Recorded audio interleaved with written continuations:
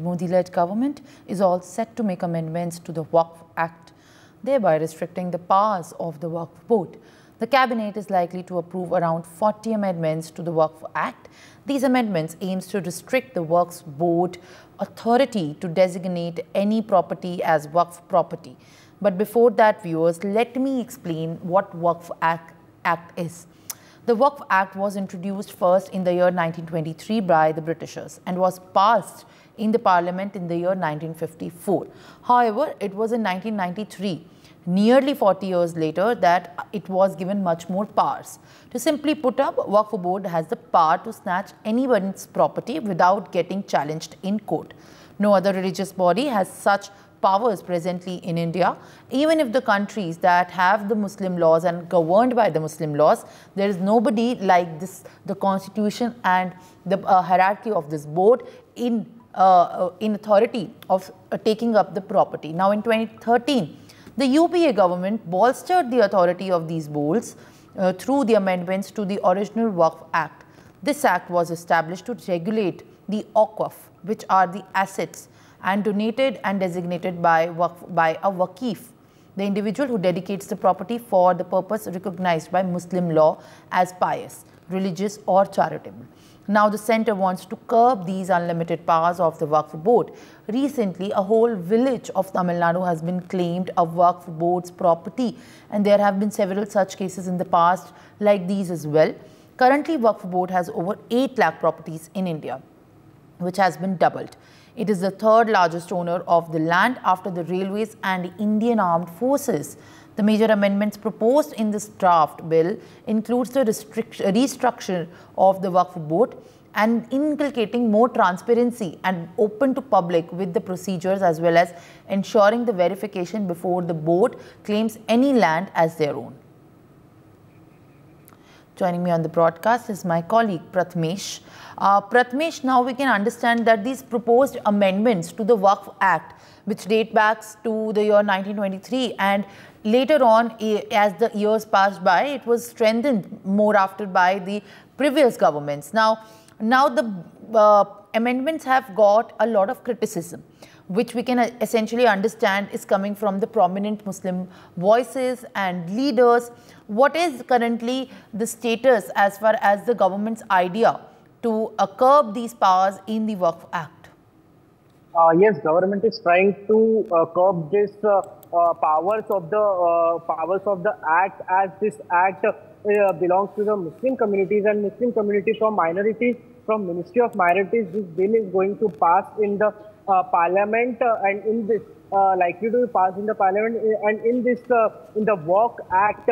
this is first of all we need to understand what is this Waqf Act. So Waqf Act is basically uh, something, the land which has been given uh, through this. This is a subordinary uh, community, a subordinary community which has been given to this, and this comes under a, a minority Ministry of Minorities.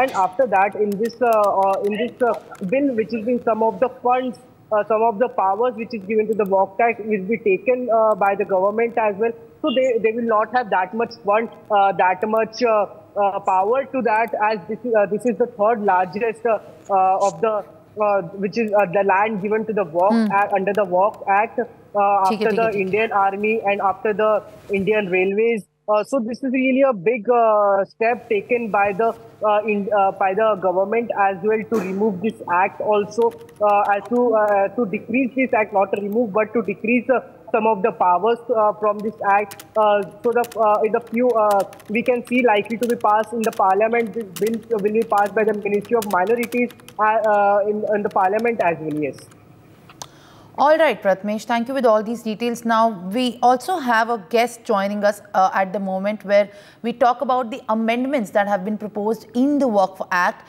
Ashwini Upadhyay, who is a Supreme Court senior lawyer and also one of the petitioners who has uh, made an PIL in the courts against the Waqf Board authority and also which has been uh, set as a pretext for the centre to propose the amendments in the Waqf Act. Uh, Mr. Upadhyay, thank you for joining us on the broadcast uh, as well as uh, giving us more details when we talk about this story. You have been the key petitioner in the case who, have, who has also filed a public interest litigation as far as the Waqf Act is concerned, what are the key contentions? अगर हम इसमें बात करते हैं अश्विनी जी जिसको लेके वक्फ act act की सबसे पहले ये पीआईएल रजिस्टर हुई या जिसको लेके कोर्ट को अप्रोच किया गया किस माइंडसेट से कर्व करने की इंटेंशन रखी जा रही है? देखिए पहले तो भारत के संविधान में कहीं पे भी वक्फ जैसा शब्द यूज़ नहीं हुआ। एक भी बार भारत के संविधान में वक्फ वक्फ शब्द यूज़ नहीं हुआ है। न वक्फ ट्रिब्यूनल कहीं मेंशन हुआ है। न वक्फ बोर्ड कहीं मेंशन हुआ है। भारत का संविधान तो वन नेशन, वन लॉ की बात करता है। यानी जो कानून होना चाहिए, सबके लिए होना चाहिए। अगर हिंदू, जैन, बौद्ध, सिख, पारसी, ईसाई, यहूदी अपना जो ज़मीन डोनेट करते हैं, दान करते हैं, उसके लिए वो ट्रस्ट एक्ट में अपना रजिस्ट्रेशन कराते हैं तो फिर एक कम्युनिटी के लिए अलग से कानून क्यों? मेरा पहला हमने इसलिए चैलेंज किया। ये संविधान की धज्जियाँ उड़ाता है। ये वन नेशन, वन लॉ की जो डॉक्ट्रिन है, उसके बिल्कुल खिलाफ है। ये राइट टू इक्वलिटी के खिलाफ है राइट टू जस्टिस के खिलाफ है, ये पूरी तरीके से आर्बिटेरी है इरेशनल है और संविधान में इसका कहीं ज़िक्र नहीं है। 1954 में इसको नेहरू जी ने कानून बनाया वक्फ एक्ट को, इंदिरा जी ने इसको और मज़बूत किया, राजीव जी ने इसको और मज़बूत किया, नरसिम्हा राव ने 1995 में इसको मज़बूत किया और 2013 में इसको, मनमोहन सिंह ने इसको मज़बूत किया और इतना इसको अनलिमिटेड पावर दे दिया कि इवन आपके स्टूडियो पे अगर वक्फ बोर्ड कह दे ये आपका स्टूडियो न्यूज़ एक्स का स्टूडियो वक्फ बोर्ड की प्रॉपर्टी है। आपको उसके चंगुल से छुड़ाने के लिए पचास साल लड़ना पड़ेगा। इतना पावरफुल हो चुका है। वक्फ बोर्ड में सात मेंबर होते हैं। सात के साथ तो Muslim MLA Muslim MP Muslim advocate Muslim IAS officer Muslim town planner उसका जो है वो भी मुस्लिम मुतवली भी मुस्लिम, सारे के सारे। और इतनी पावर कि किसी को नोटिस भेजने के पहले कोई उसको जाँच भी नहीं करना तो नतीजा ये हो रहा है कि गाँव में, देहात में, कस्बों में जो पब्लिक लैंड होती है गाय खेल का मैदान होता है गोचर ज़मीन होती है बंजर ज़मीन होती है शादी विवाह के लिए जो ज़मीन छोड़ी जाती है वो सारी जमीनों पे कब्जा करता जा रहा है जंगलों पे कब्जा करता जा रहा है। और ये एक्ट अपने आप में अन इस्लामिक है अन कुरानिक है वो मैं कह, आपको बता रहा हूँ। पूरे के पूरे अरब में अरब कुवैत दुबई बहरीन में एक भी मजार नहीं है। और ये वक्फ बोर्ड जगह जगह जमीनों पे मजार बनवा बनवा के उसको वक्त प्रॉपर्टी डिक्लेयर कर रहा है जबकि मजार अपने आप में हराम है अनकुरानिक है अन इस्लामिक है। ये हम्म। वक्त बोर्ड जगह जगह दरगाहें बनवा रहा है। दरगाह बनाना अनकुरानिक है अन इस्लामिक है पूरे के पूरे गल्फ कंट्रीज़ में एक भी आपको दरगाह नहीं मिलेगी। हम्म। ये वक्त बोर्ड जगह जगह पक्का कब्रिस्तान बनवा रहा है। पक्का कब्रिस्तान बनाना जिस तरीके से जिस तरीके से इस एक्ट के अमेंडमेंट को देखा जा रहा है एक कंटेंशन ये भी निकल के आ रहा है कि जितने भी मुस्लिम स्कॉलर्स हैं और ऑब्वियसली वक्फ बोर्ड के अंदर प्रेजेंटली जो लीडर्स हैं, कि वक्फ बोर्ड के अंदर इंटरफेरेंस सेंटर से नहीं होना चाहिए। ये जब से चला आ रहा है, तब से भी इस एक्ट को, जो 1995 में और सॉलिडिफाई हुई थी तब से लेकर अब तक भी इसके अगेंस्ट कोई कंटेंशन एज सच थी नहीं कोर्ट्स में। जब सुप्रीम कोर्ट को रिट पिटिशंस के थ्रू अप्रोच किया गया है, इस टाइम पे जो वक्फ बोर्ड के लोग हैं और जितने भी मुस्लिम स्कॉलर्स हैं, उनका ये कहना है कि वक्फ बोर्ड की ही प्रॉपर्टीज़ में जिस तरीके से आप लोग जिस तरीके से बाकी लोग कर रहे हैं इंटरफेयर ये नहीं होना चाहिए क्योंकि political parties as well have also raise their opposition so Samajwadi party is also saying it now it is more political than what it should be. If we, when we talk about that इस पे सिर्फ़ और सिर्फ़ एक तरीके से वक्फ board की act को होना चाहिए और लीगली होना चाहिए बट पोलिटिकल बन रहा है ये मुद्दा। आपको बता रहा हूँ पहली बात तो ये कि अगर भारत में एक भी बार कोई मुझे W A Q F Waqf शब्द दिखा दे। वक्फ बोर्ड या वक्फ ट्रिब्यूनल वक्फ एक्ट छोड़ो। डब्ल्यू ए क्यू एफ़ दिखा दे वक्फ दिखा दे। मैं मान जाऊँगा कि हाँ इसका ये वैलिड है। ये पूरी तरीके से अनकॉन्स्टिट्यूशनल है। और जो अनब्रिडल्ड पावर दिया, उसका नतीजा क्या हुआ? दुनिया के 50 देशों का जो एरिया है ना, जो उनका क्षेत्रफल है, उतना ज़मीन भारत में वक्फ बोर्ड के पास है। मैं आपको डेटा बताता हूँ। मालदीव का टोटल क्षेत्रफल पचहत्तर हज़ार एकड़ है। भारत में वक्फ बोर्ड के पास दस लाख एकड़ ज़मीन है। सिंगापुर का टोटल एरिया एक लाख अस्सी हज़ार एकड़ है। भारत में वक्फ बोर्ड के पास दस लाख एकड़ ज़मीन है।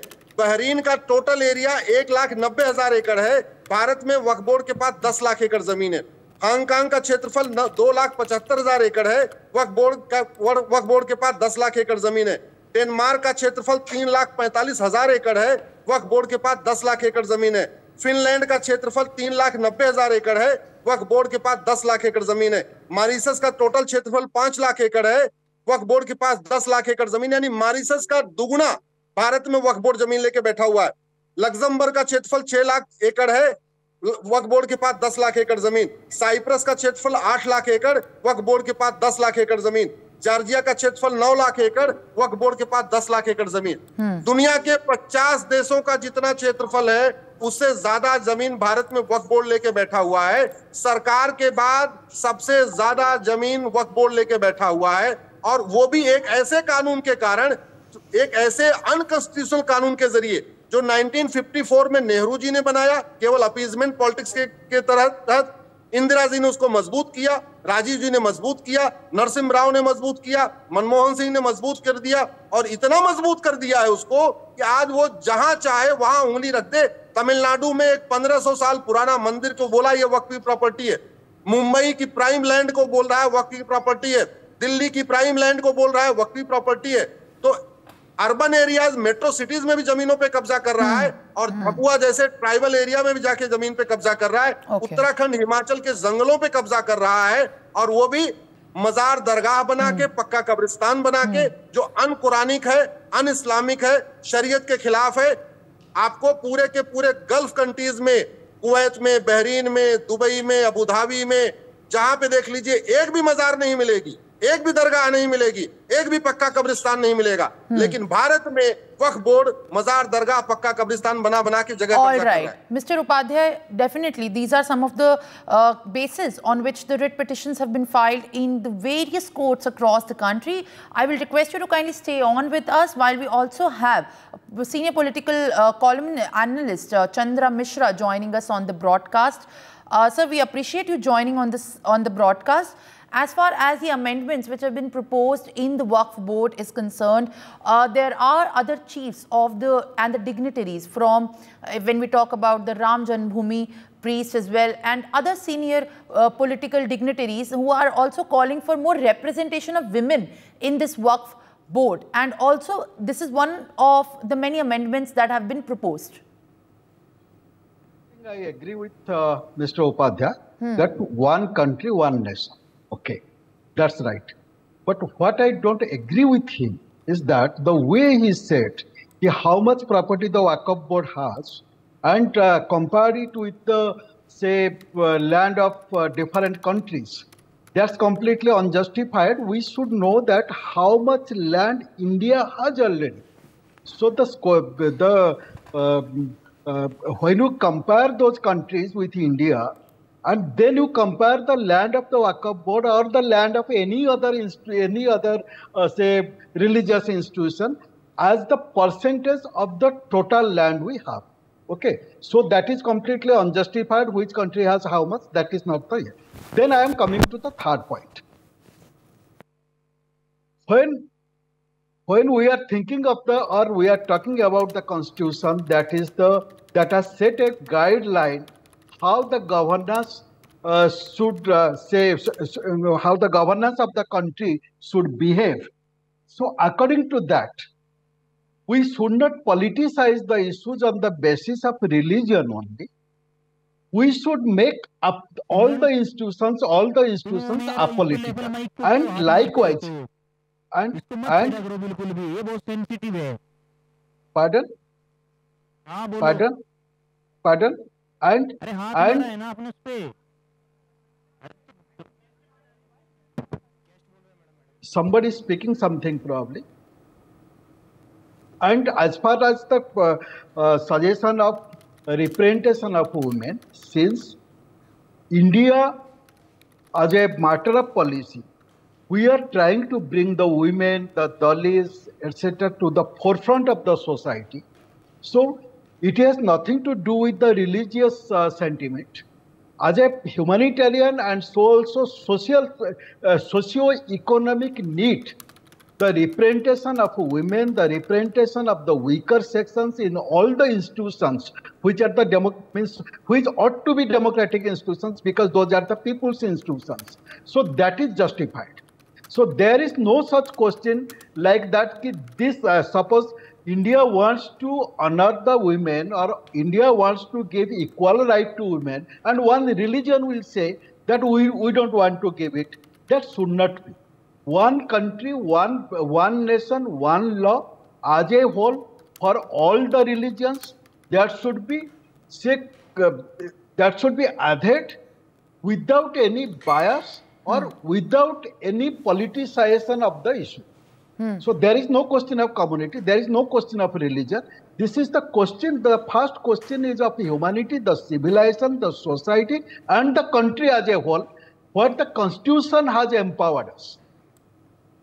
So, so the representation of women and the uh, and all other uh, say provisions that we we have for the citizens for for for other other religions also there should be practiced without any bias or without any favor. For more such videos, subscribe to the NewsX YouTube channel, hit the bell icon.